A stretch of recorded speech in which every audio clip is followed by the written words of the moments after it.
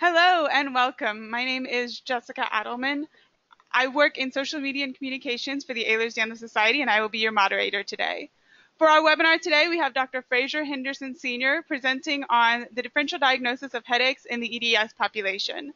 This webinar is part of our ongoing series, Living with EDS and HSD. A quick note about how this webinar is going to work. Attendees are muted at all times, however, you are able to type questions into the question box at any time. Dr. Henderson will not be able to see or respond to any questions until the Q&A time at the end of his presentation. Please do not send your questions more than once, as it will not increase the chance your question will be answered. It will only make it harder for us to sift through the questions. Dr. Fraser Henderson Sr. earned his medical degree at the University of Virginia in Charlottesville. He received several commendations as a neurosurgeon with the U.S. Navy. He currently practices in Chevy Chase, Maryland, as Director of Neurosurgery at Doctors Hospital and Director of the Chiari Center of Excellence, where he is focused on the development and understanding of treatment development of the understanding and treatment of deformity-induced injuries to the brainstem and spinal cord in Chiari malformation and Ehlers-Danlos syndromes. He is the inventor of 11 devices and concepts relating to the disorders of the brainstem and spinal cord, has published over 50 peer-reviewed articles and book chapters, and has given over 140 invited lectures with a focus on cervical cranial disorders, Chiari malformation, cancer, radiosurgery, and unusual problems of the spine. Dr. Henderson is a member of the Ehlers-Danlos Society's Medical and Scientific Board, as well as the Neurology Working Group Chair on the International Consortium on EDS and related, related disorders. Thank you so much, Dr. Henderson, for being here today. You're welcome. Thank you. Good afternoon, everybody. I'm going to talk about a, really tough problem, and that's the differential diagnosis of headache in the population of patients with EDS and other connective tissue disorders. I, uh, my disclosure, I, I am, um, I have invented a new craniocervical device, and um, I'm also director on the board of another company and two other companies. Now, when I think of headaches, um, I'm not just thinking about migraines and tension headaches. I think about all of these things. And we're going to run through this entire list, give you an idea of the length and breadth of the of the problem of headaches with EDS. So um, Chiari malformations uh, appear to be fairly common in Ehlers-Danlos syndrome, and the Chiari headache is typically precipitated by a cough or Valsalva maneuver like holding your breath. It can be momentary, but it can also last hours, even days. It's more in the back of the head, the occipital region. There's often signs of brainstem, cerebellar, or cervical cord dysfunction. So there may be some uh, tremor, unsteadiness, uh, abnormal gait, so on. So uh, Dr. Milhorat, and actually myself and others in a recent production, have talked about Chiari as being one of the comorbid conditions of Ehlers-Danlos syndrome. And the typical treatment for Chiari is a suboccipital decompression, removing the back of the skull, shown at the arrow. And sometimes we add a dural patch to make more uh, dural space. Other times we uh, we lancinate the outer a layer of the dura and the dura simply expands. Um, now, uh, here's a patient that had been operated on 10 years before for Chiari malformation. She has EDS, and she came back in, and you can see that the it looks like the Chiari is pressing against the spinal cord, and there's a syrinx there that that it's on the left. There's black a blackness inside the spinal cord. On the right, CSF is white. And it looks like maybe she needs another decompression. But we noticed on the CT scan that the brain looked very tight. If you look at the upper left, there's a tightness of the brain. And we obtained an MRI, and it showed enhancement, engorgement of the pituitary gland, and increased venous flow down the spine. And when we looked at the major draining sinuses, the big veins that drain the blood out of the brain, we found that there was no flow. So the, the blackness there is no flow. There's another view. That was that's a blood clot. This patient had a blood clot in their brain, and that was causing the headache and the memory difficulties and uh, the clumsiness and so on. And so uh, here's the magnetic resonance venogram. You can see normal flow on the on the picture on the right, and on the picture sorry on the picture on the left that says right transverse sinus. Now the picture on the right side uh, shows no flow through the left transverse sinus. And remember that radiologists look at everything backwards. So what's on the left picture is actually on the right, and what's on the right is actually on the left. So this is a left sinus, no flow. And we treated her with uh, anticoagulation. And at one month, she had uh, restoration of flow uh, through the sinuses, and she returned to work, and no surgery was necessary. This young lady from Canada had a global headache that uh, rapidly increased, and she also had increasing leg weakness and urinary incontinence. I thought, oh my goodness, does, she have a tethered cord? Then she developed a personality change, and her mother, mother said that her memory uh, was uh, had become very poor. And so we obtained this MRI, and you can see a thrombosis of the back of the straight sinus and the right transverse sinus, which is on the left. We treat, treated her with Lovenox anticoagulant, and a couple of days she was much better. This 25-year-old uh, woman uh, from South America had severe headaches behind the eyes and global headaches and dystonic seizures, the loss of consciousness, and uh, we thought it looked like she'd slipped into coma. And we obtained this MRV and found a thrombosis of the left transverse sinus. And it was astonishing, but within a few days, she improved so much, she went from the ICU straight to home, not, not in South America, but to the local home. Now, this begs the question, how does blood leave the brain? Well, we always think about blood uh, draining through the big sinuses around the brain and then exiting through the jugular vein. But it turns out that there's rather a lot of blood that leaves the brain around the spine. When you're upright, there's increased flow through the vertebral venous plexus. So there's veins all around the cervical spine that help to drain the blood out of the brain down back down to the heart. And when in the supine posture, lying down, there's rather more flow in the jugular veins. So on the left, that's the jugular vein, and that's a normal flow. On the right, you see compression of the jugular vein by the transverse process of the C1 vertebrae. And that can be compressed by the posterior belly of the digastric muscle or the stylohyoid ligament. How often does this occur?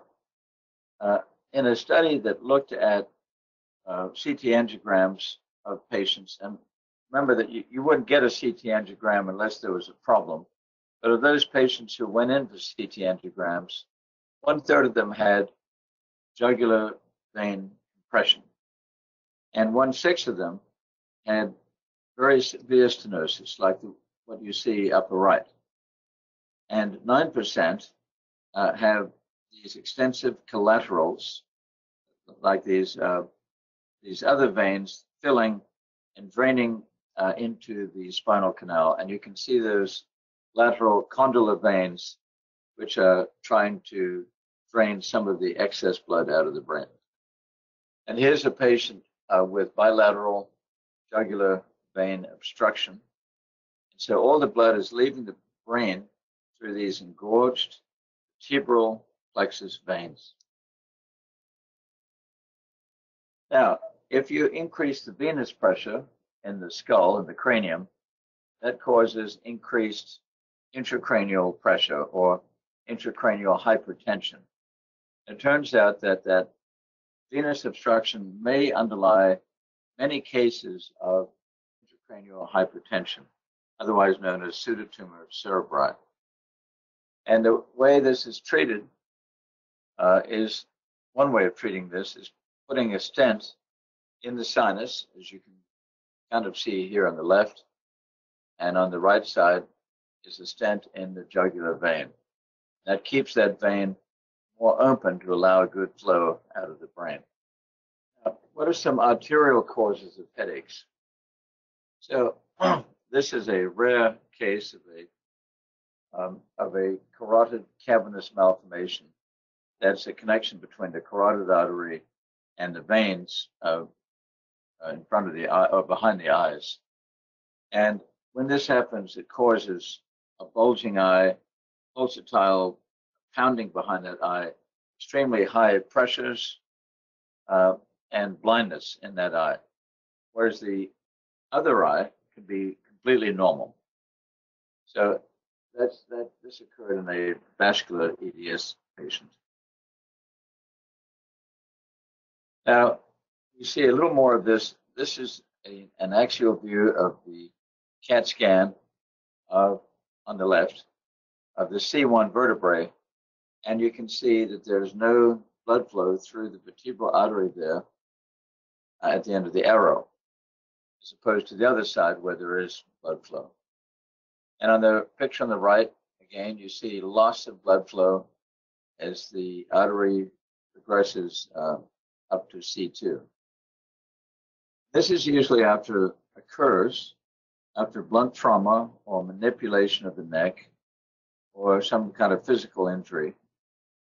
Uh, and uh, it causes a suboccipital headache, altered vision, sometimes, typically speaking, dysarthria, maybe impaired coordination or stroke-like symptoms.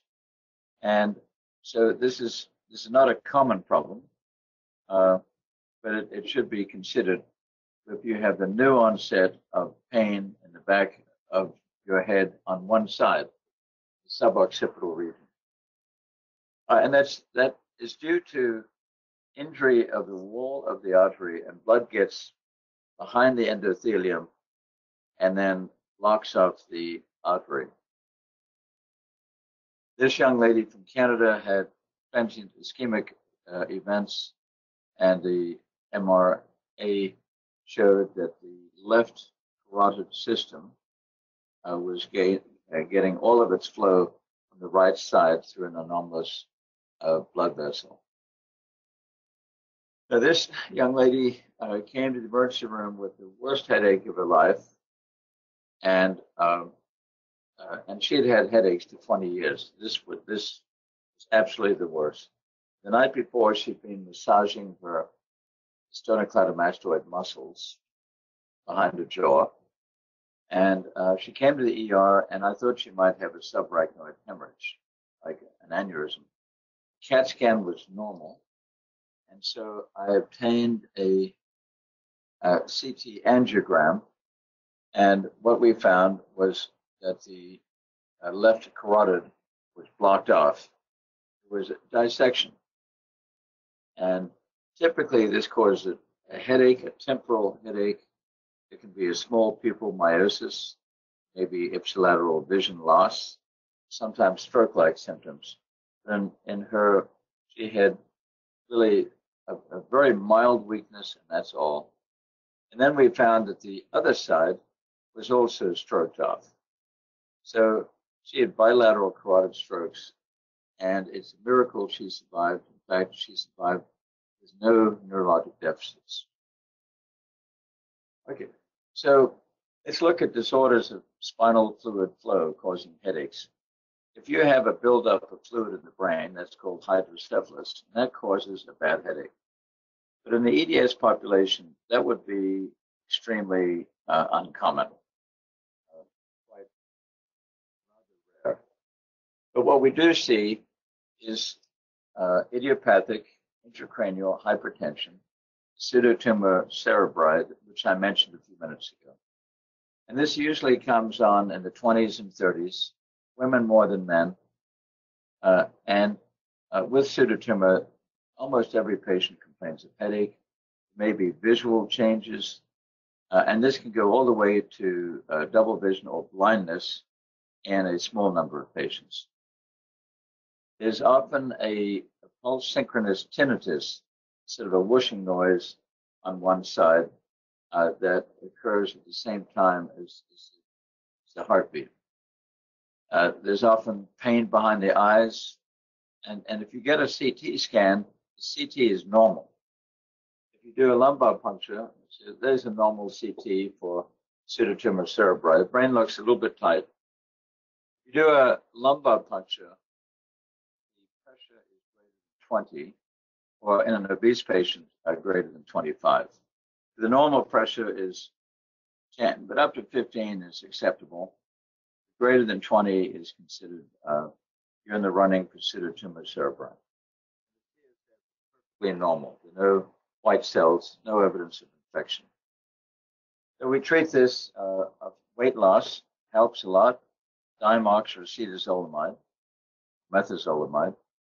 Thiazide diuretics, that's Lasix. Serial lumbar punctures work uh, or you can put in an LP shunt, lumboperitoneal shunt, or ventricular peritoneal shunt. Sometimes uh, people fenestrate the optic nerve, take the pressure off the eye to improve vision. Some people have recommended removing part of the skull. Stenting is becoming increasingly common, as I showed you. Now, on the flip side, there's high pressure in the skull. There can also be headaches due to low pressure So this is an intracranial hypotension, low tension syndrome. This is due to a persistent CSF leak with orthostatic headache. When they stand up, they get a terrible headache, often with nausea, vomiting, anorexia, neck pain, dizziness, maybe double vision, changes in hearing, sometimes uh. Uh, uh, with prolonged standing, there may be some facial or radicular sensory motor changes, although I can't say that I've seen that personally myself. It's often exacerbated by laughing, coughing, or compressing the jugular veins. Uh, giving uh, pain medicine does not seem to help uh, terribly much, uh, although I usually give Fioricet for, uh, hypotension syndromes. Fioricet. Lumbar puncture if performed, should show a very low pressure, like uh, less than six with the patient lying down. And uh, often with a low pressure syndrome, you may see uh, some evidence of old blood, xanthochromia, maybe increased lymphocytes, white blood cells, increased protein. There may be a history of a lumbar puncture or trauma or an epidural there may be shunt over drainage.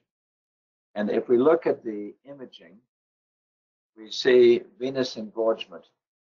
So this is a, on the left a coronal view of the pituitary, and it shows engorgement of the veins around the pituitary, and seen also in the middle picture. And there's also a thickening of the uh, venous uh, drainage down along the spine, and the space between the brainstem and the skull and spine, which is called the prepontine cistern, can be diminished. Uh, finally, on the right side, uh, there's thickening of the what's called the pachymeninges, the dura, uh, in which there are blood vessels. Uh, here's a, a patient with a CSF leak in the thoracic spine and you can see the arrows point to the dura, and outside of the dura is extradural fluid. On the right side, that squiggly black line is a dilated vein, and shown here in an axial view, spinal cord up top, white spinal fluid, and then there's that dilated vein representing a large amount of venous drainage down through the spine. That venous drainage dilation of the vein is due to the low pressure in the system. Now, uh, it's a problem if you assume too little. Uh, so here's a patient again with a Chiari. That's a good reason for a headache, and they've got a syrinx there. So is the headache due to the syrinx and the Chiari? Well, not necessarily. Because if you look at large series of patients who've had suboccipital decompressions for Chiaris, there's a significant failure rate, 20 to 50%. Why is this? So George Klekamp in 2012 looked at 45 revision decompressions for Chiari malformation, and more than one fifth needed a craniospinal fusion.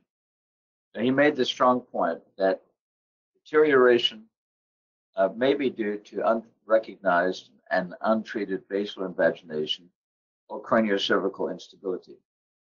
Of particular importance were signs of instability, therefore, and concluded that functional studies in flexion extension of the cervical spine may demonstrate hypermobility of the craniocervical junction, in which case the decompression should be combined with a fusion.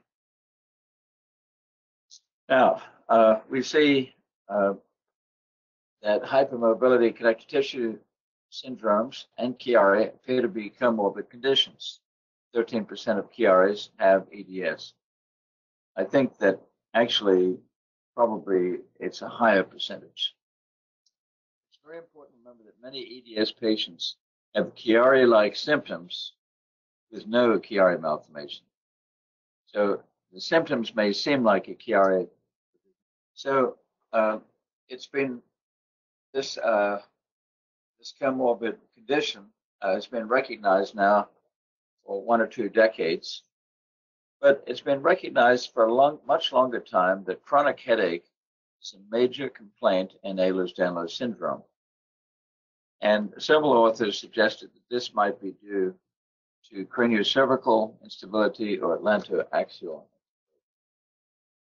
It's not surprising when you consider that the ligaments which are affected with EDS are the major stabilizing structures between the cranium and the spine.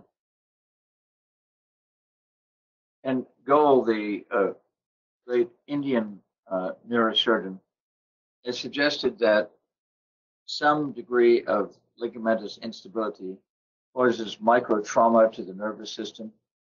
This results in decreased neuromuscular control and that causes progressive increase in instability.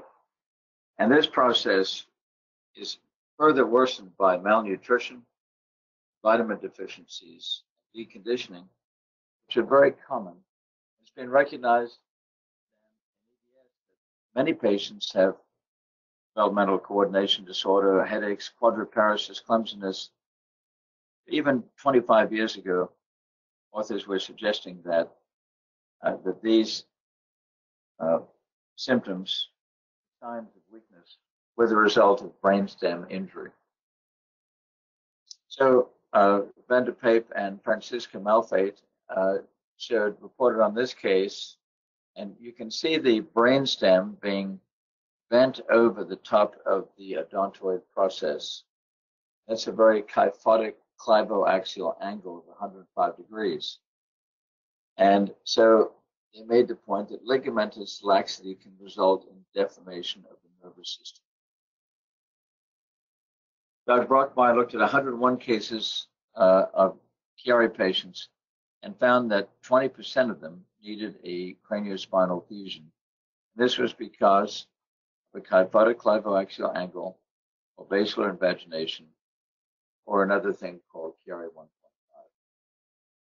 So when does ligamentous laxity at the craniocervical junction become pathological?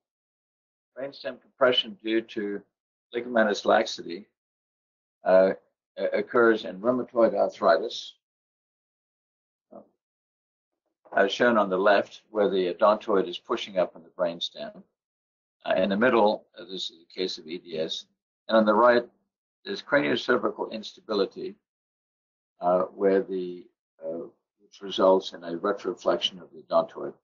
Well, in a consensus statement in 2013, uh, uh, where 17 institutions were represented, the Chiari Syringomyelia Foundation came up with uh, this report that there are three additional radiological metrics to assess basal invagination and craniospinal instability. First is the clivoaxial angle, grab second, the Grabb Mapstone Oakes measurement. Third, the Harris measurement for the BAI. So here's the clival axial angle. Normally it's about 150 degrees. But if the skull uh, bends too far forward on the spine, or if, this, if the cranium slips forward with respect to the odontoid, causes an abnormal angle, less than 135 degrees is considered pathological. This is uh, this angle here is about 105 degrees. That is very pathological. That's a medullary kink. Now, the Grabb Mapstone Oakes measurement reported in 1999 uh, is derived from a line drawn from the dura to another line that extends from the basion, the base of the skull, the base of the C2 vertebrae shown on the left. If that line is more than nine millimeters or nine millimeters and more, that implies a very high risk of ventral brainstem compression. So Harris looked at 400 normal subjects and found that none of them had a BAI, a basion to odontoid measurement, more than 12 millimeters. Actually, more than 11 millimeters. So he said, if if this measurement from the basion to a line drawn along the back of the odontoid is 12 millimeters more, you have an unstable situation. And if the distance from the basion to the top of the odontoid is more than 12 millimeters, you have an unstable situation. So this is a normal. The you can see the base of the skull. That's the basion at the tip of that yellow arrow. Seems to pivot over the midpoint of the odontoid process. It's normal. It can move back and forth one millimeter uh, quite normally. But it cannot move more than a millimeter, and there have been a number of manu- uh, uh, authors that have discussed this point. So here's an abnormal case, inflection. Cranium is slid forward on the odontoid, uh, and on extension, the cranium slides backwards.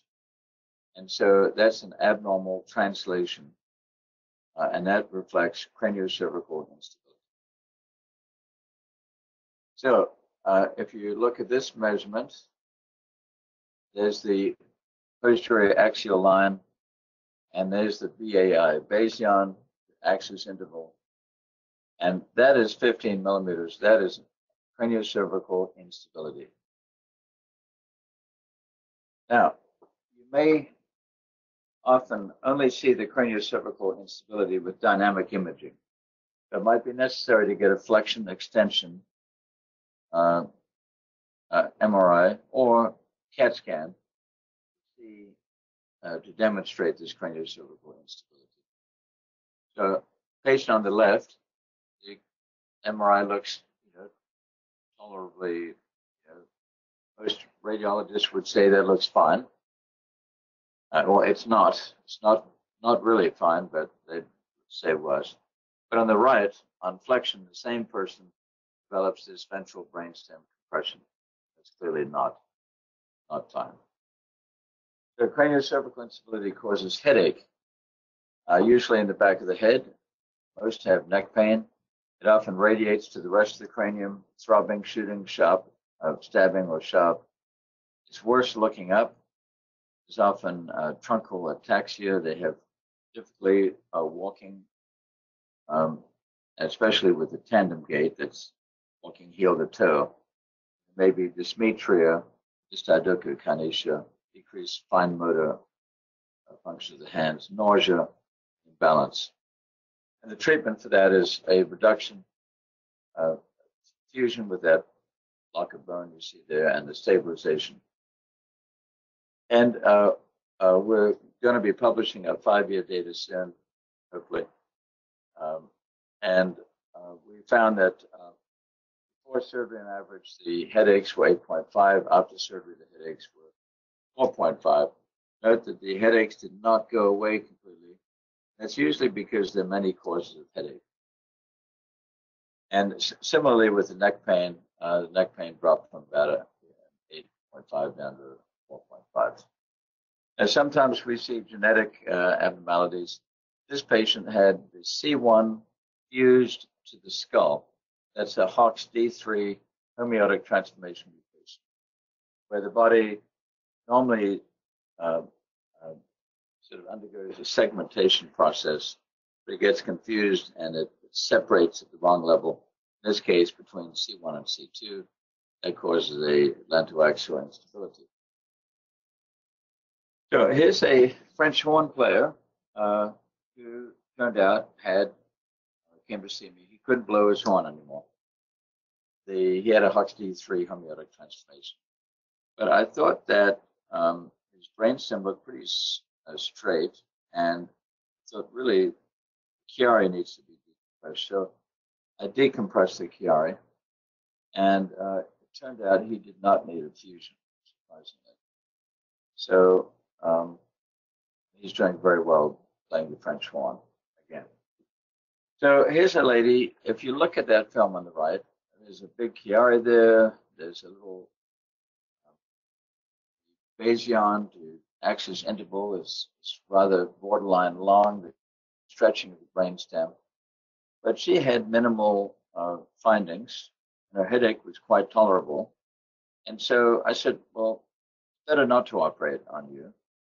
Uh, you, radiologically, you look horrible, but clinically, she looked great. So I've been following her for about four years, and hopefully won't need to operate on her. Now, many headaches arise not in the head, but in the neck. They're cervicogenic. So Dr. Long, former chairman at neurosurgery at Johns Hopkins, said that a quarter of their Chiari patients continued to complain of headache after the surgery.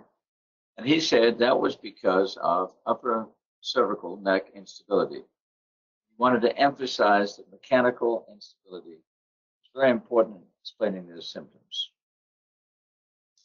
Now, uh, others have shown that if you have a, well, the two thirds of the population have headaches, uh, about half of them are misdiagnosed. Uh, and if you have a headache arising in the neck, that has the highest uh, uh, quality of life burden, i.e., pain, disability. So these are bad headaches, the ones that arise neck.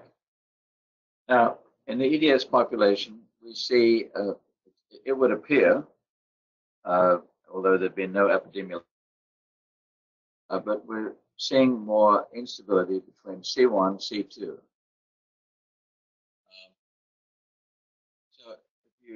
Look at the picture, you'll see that the facet joint uh, is uh, appears to be coming apart there.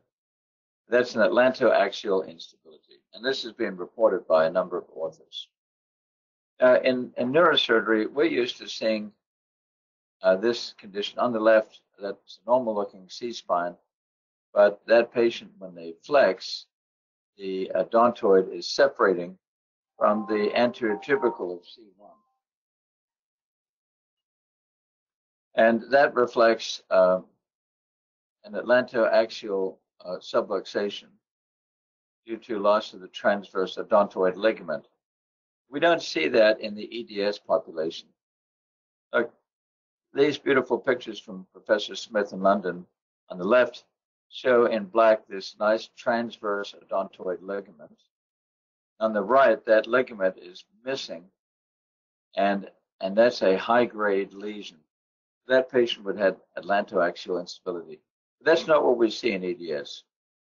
Uh, what we see is alar ligament incompetence. Now, the alar ligament is required to prevent excessive rotation of the odontoid.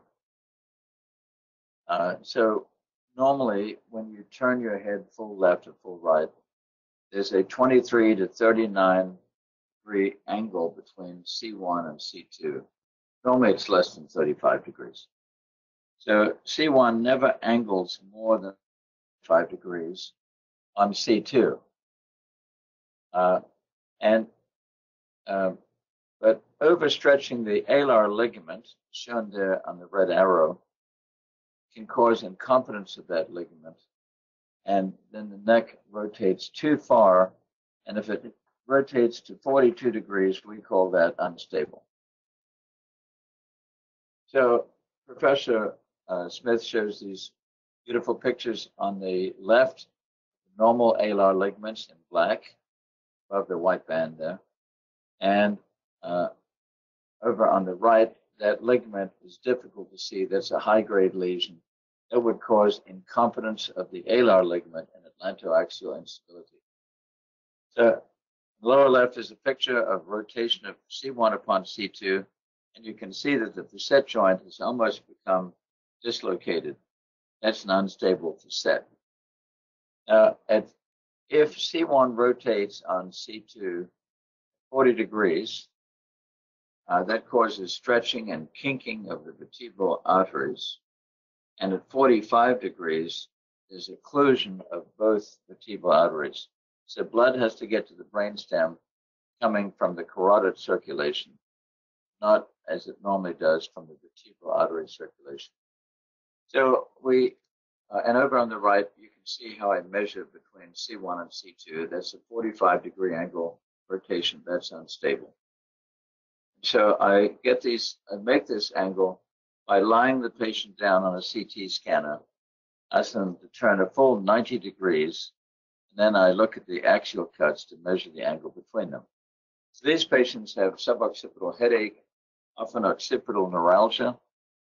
They may have ice pick eyes, really severe eye, eye pain.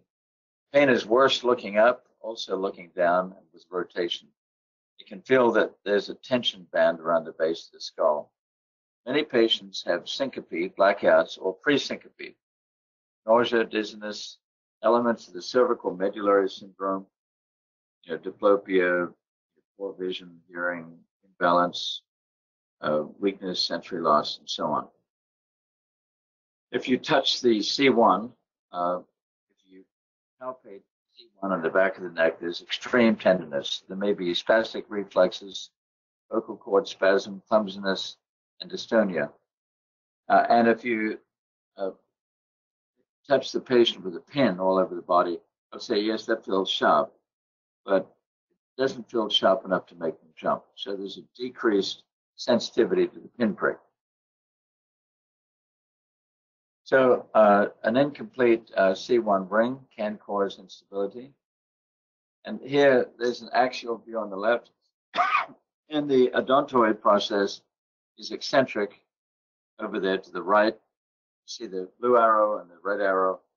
The odontoid should be in the middle. That implies that there's an incompetent alar ligament on the side of the red arrow. So that's uh, treatment of this is doing a fusion stabilization uh, by putting screws into the C1 and C2 vertebrae, connecting those screws with rods, and, and then putting a piece of bone, as seen there on the left side, uh, between C1 and C2. And it's been a, uh, a very successful operation. Now, there's a thing called a Kimmerle's anomaly, and that's a bony bridge over the vertebral artery. And it's not rare, it occurs in about one in seven people, but it can cause dizziness, deafness, drop attacks, a tingling. It can cause a dissection of the vertebral artery in some patients by kinking the artery. Now, instability also occurs in the cervical spine. The uh, here's the cervical spine uh, of a patient looks quite normal on the left. On the right, however, in a extension view, you suddenly see compression of the spinal cord. So uh, this is typical of some of our EDS patients. They have a, a normal MRI on the left, and then extension view shows cord compression, and the treatment uh, is an anterior cervical discectomy and fusion. This particular patient had burning between the shoulder blades, headache, neck pain, sometimes breathing difficulty, gait problems, impaired visual accommodation, slight blurring of vision, numbness over the shoulders. And uh, after the anterior cervical discectomy, uh, all of those symptoms went away. Uh, Dr. Benzel at Cleveland Clinic showed this man uh, on the left, uh, the spinal cord looked normal, but on the right, uh, there was a stretching of the spinal cord over this kyphosis. You can see that red line, that red interval is stretched. That stretching causes myelopathy, to the spinal cord, and weakness, numbness, pain. That's due to unstable bending of the cervical spine. So there are a number of uh, tests we look at. These were published by Panjabi and White in 1990. Uh, traction signs, angulation, uh, looking sideways on the spine. If the flexion and extension angulation is greater than 20 degrees, that's pathological. Uh, or if you look at one picture and the angle is more than 11 degrees, that can be pathological. If there's a slip of 3.5 millimeters, that's pathological. There's evidence of spinal cord injuries, stenosis, disc narrowing, radiculopathy. These are all um, suggest um, instability. Now, you can also get headaches from peripheral nerve sensitization. So a nerve can get uh, injured and still be functioning, and in fact have a normal neurologic exam, but cause tremendous pain. And this is typical of occipital neuralgia. Uh, also, there are other nerves called the lesser occipital nerve, third occipital nerve that can also cause severe pain. And they're diagnosed by if you press on the nerve, it can cause pain, or you can block it with bupivacaine, lidocaine. If it goes away, if you do that a few times and it reliably goes away, then uh, that points to an injury of that nerve. The nerve can be uh, cut or frozen with cryotherapy or heated up with uh, with radiotherapy. There are a number of ways of treating that. Here's occipital neuralgia. Arises from this nerve. It comes out between the ring of C1 and the lamina of C2, and it can get compressed there. It causes horrible pain in the back of the head, radiating behind the eyes. It lasts hours or days.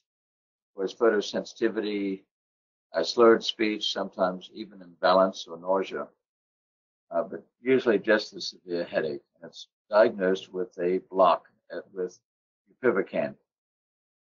This lady had migraines, she also had TIA-like symptoms. So we obtained a uh, echocardiogram and it showed bubbles going from the right atrium through to the left. Uh, this is a, a transesophageal echocardiogram with bubble technique, and it showed this patent foramen ovale. And so to treat this, she just had to take aspirin. In some cases, you can close the PFO, the patent foramen ovale. Sometimes tumors, uh, and it's not hard to understand how a neck tumor can cause headaches, but even a tumor in the lumbar spine, this is a patient with a picture of papillary ependymoma, when I removed that tumor, her headaches went away. And you can have headaches from tethered cord. Is a tethered cord in the upper thoracic spine. The cord is stuck to the dura there. Every time the patient bent her head forward, she had terrible headache. Uh, but it can also be due to tethered cord syndrome. Uh, and we often see a thickening of the, or the so-called fatty filum.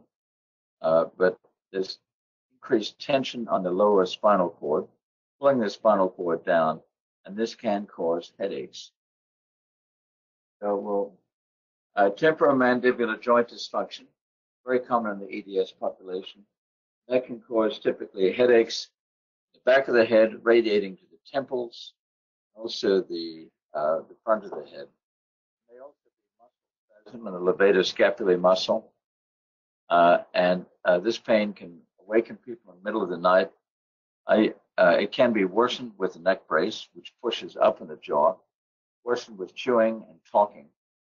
Uh, it can cause sleep apnea. Uh, there are a number of immune disorders which can cause headaches, like Mast cell activation can cause headaches, brain fog, fatigue, uh, respiratory congestion or asthma-like symptoms. Uh, it can cause uh, memory, concentration problems, muscle aches. Typically causes uh, irritable bowel syndrome, and most commonly causes flushing of the skin and itching and angioedema and welts or outright um, um, severe reactions to uh, medication. So mast cell activation syndrome. Sometimes we see uh, antibodies to common pathogens like strep throat. It can cause, it's called a PANDAS or pediatric autoimmune neuropsychiatric disorder associated with streptococcal infection, PANDAS. And so these patients can have obsessive compulsive personality and headaches and uh, other symptoms. Uh, there are other inflammatory disorders, and uh, the category of disorders called the uh, uh, lim- paraneoplastic limbic encephalitis disorders, emblematic of which is the anti-N-methyl D-aspartate receptor encephalitis. So um, a patient can have a tumor or virus or bacteria and antibodies to that tumor or virus or bacteria then attack normal structures in the brain. And this happens more often in women who can then exhibit behavioral or personality changes, even seizures, mood changes, bad sleep, hallucinations. And if you get a PET scan, positron emission tomography, you'll see these areas lighting up, showing inflammation in uh, critical areas of the brain. So headache is a very important measure of disability and suffering, but it's highly variable and non-specific. And these diagnoses are not obvious or even intuitive, so you have to consider them and search for them. You have to be aware of the many comorbid conditions of EDS to establish the origin of the headache. Ligamentous laxity in the connective tissue population, connective tissue disorder population is an important feature of many of the conditions that generate headache. And again, I'd like to thank all my co-workers uh, who, um, uh, who've helped me understand these problems. So, I, um, does anyone have any questions? I apologize, I was muted. Um, yes, we do have some questions here. Um, if anyone has any questions, please type them in, in, our question box and we will get to just as many as we can. Okay. The first question is Are there any long term effects of cervical instability left untreated? Well, uh, obviously, the full range from uh, paralysis, I mean, in the, in the most severe case, to just uh, ongoing uh, you know, headache and neck pain. But um, it's it's a very difficult question to determine uh, when to perform the surgery. You don't want to jump too quickly, uh, and then you don't want to leave it too late. It's a very individualized uh, problem. It needs to be addressed, you know, patient by patient. Our next question is: What is the most accurate way to differentiate CCI from AAI?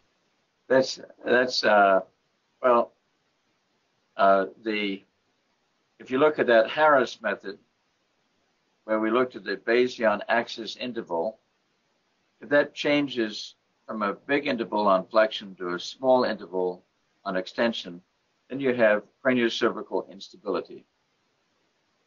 And um, that's the best way to look at craniocervical instability.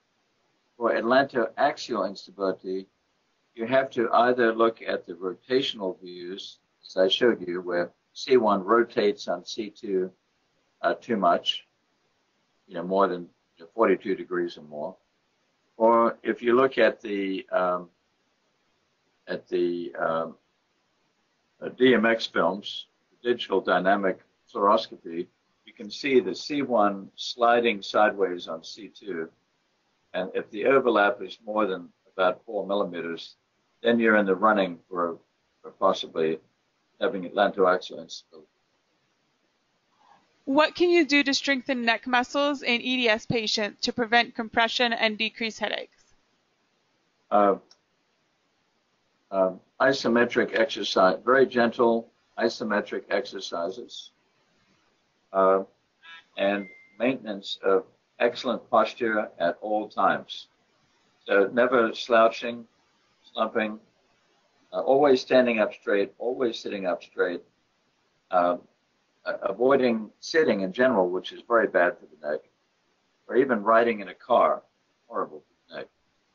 Uh, the best things are standing and walking, too tired to stay up straight, then go lie down somewhere.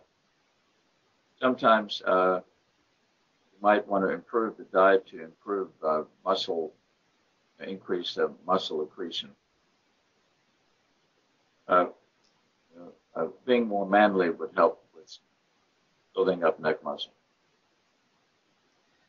Um, this is a very good question, I think. What is the most important question to ask when an EDS patient with headaches sees a neurologist for the first time?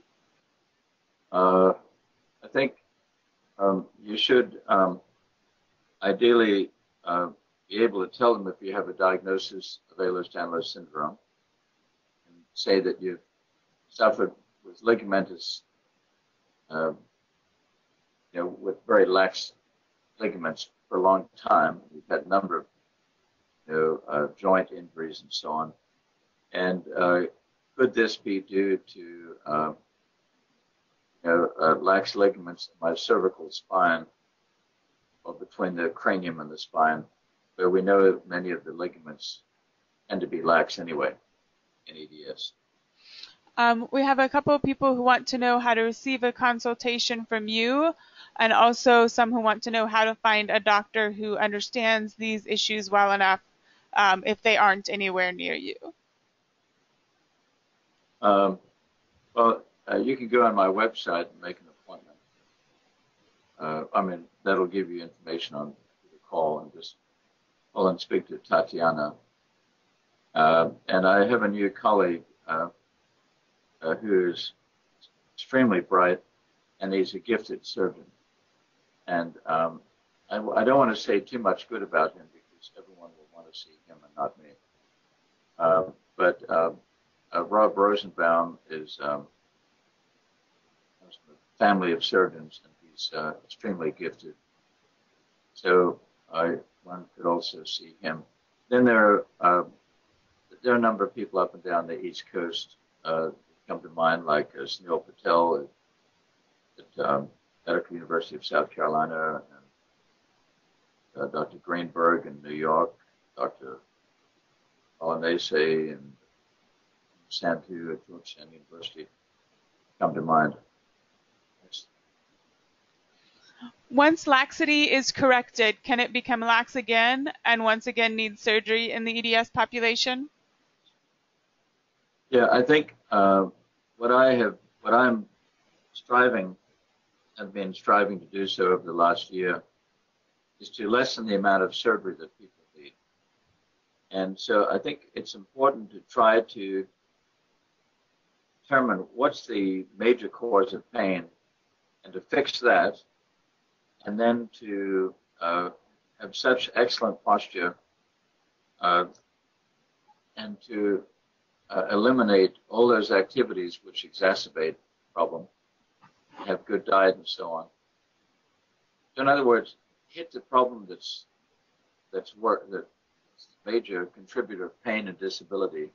Try to live with the others, and um, you don't want to go down this road of doing too much surgery on everyone because the problem of ligamentous instability is not at one level; it's all the way up and down the spine, and and obviously we can't and we don't want to fuse the whole spine. And so it's a real, um, it's a very difficult thing to determine what levels to fuse and uh, uh, where to stop. Um, but yes, you can. Uh, I mean, usually when we do a fusion, that segment is stable, and that should not develop ligamentous laxity because it's fused. It ligaments aren't doing anything anymore. The bone has uh, is accomplishing all the stability between those levels. But when you do a fusion at one level, you can uh, gradually develop increasing ligamentous laxity at the next levels. next. How would a cervical annular tear play into differential diagnosis of headaches? Yeah, I I don't put much stock on the so-called annular tear. I, I mean, I don't think I've ever operated for an annular tear. I need to see you know, some real instability, and I need to see symptoms coming right from that segment to see something on radiology. Uh, but simply an annular tear does not mean much to me. I'm not impressed with an annular tear. Would you treat a patient with Botox without running MRIs and lumbar punctures on the EDS patient? And what if the patient has a history of failed back surgery? Um, well, Botox uh, might be of limited use if, if there's a specific muscle spasm it's causing a lot of pain. Botox might be useful for lessening that spasm. But in general, one is trying to build up the muscles, and Botox basically weakens the muscle. It works by relaxing the muscle, eliminating the ability that muscle to contract. But we want stronger muscles with EDS. So generally speaking, uh, I would say Botox is a limited use. Can you please tell us about dynamic cerebral angiograms? Well, uh, an angiogram is done under fluoroscopy. It's, dynamic in the sense that it's done real time. So I often do an MRV, and I'll note that there's a stenosis someplace that seems to correlate with the patient's symptoms. I'll send them up to Dr. Liu or down to uh, MUSC in Charleston, and they'll do uh, angiograms, which are really dynamic films in the sense that they're live. Sometimes they can form head movements uh, during the angiogram, and uh, and um, that that will show more accurately where the blockage or stenosis really is. But we don't usually call an angiogram a dynamic angiogram. And it's very difficult. Um, it's very difficult to show dynamic changes on angiography. Uh, for instance, uh, bending the head this way or that way uh, does not necessarily show a blockage, the artery or vein that we're looking for. It's very difficult to demonstrate that. So I would not ask for quote dynamic uh, angiography. We have requests for um, for specialists uh, for your kind of um, issues with on either the West Coast or in Canada. Do you have any names for the West Coast or Canada? Um, the um, yeah, re- regretfully, uh, the, the I, I, can tell you that the neurosurgeons in Canada generally are very well trained, and Canadian neurosurgery has often led led the world in new development. And uh, I trained under a man who trained at Montreal. That's where seizure surgery was developed and many other things. But uh, for EDS, um, uh, we haven't uh, you know, found uh, you know, a champion up there for those issues. Uh, nor on the West Coast um, uh, have we. Uh, um, I'm, I'm, not familiar with anyone doing a lot of EDS work, though there are a lot of very good neurosurgeons, obviously.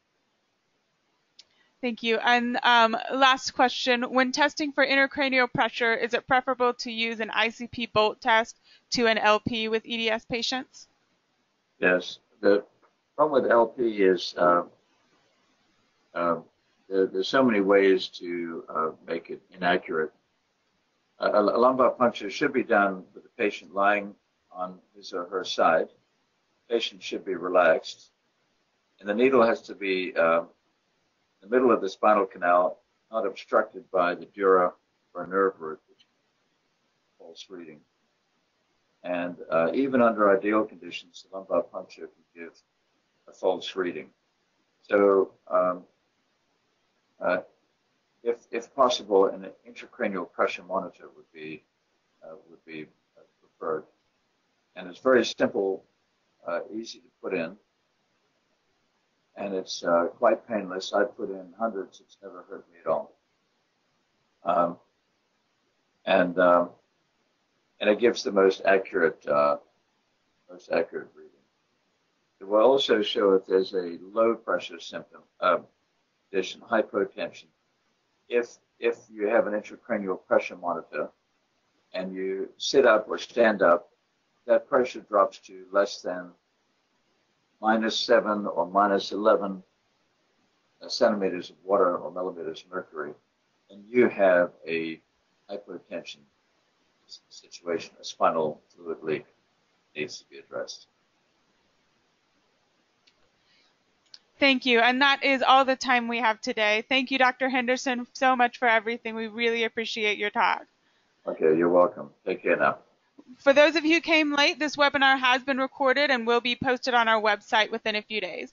Thank you all for attending and have a great day. Alrighty.